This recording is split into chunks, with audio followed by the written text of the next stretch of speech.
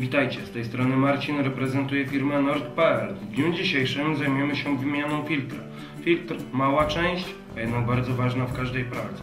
Za chwilę pokażę Wam, jak taki filtr można wymienić, jak również jak można go konserwować.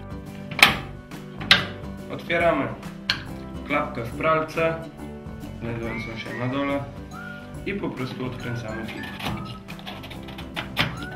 Właśnie wykręciłem filtr. Jeżeli jest on brudny, możecie go wyczyścić środkami dostępnymi na naszej stronie nord.pl.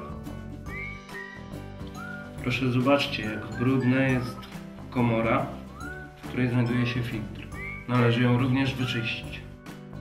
Brudny filtr po wyczyszczeniu powinien wyglądać jak ten nowy. Właśnie będę montował ten nowy filtr. Pamiętajmy o tym, aby dobrze dokręcić filtr. Na koniec zamykamy klapę.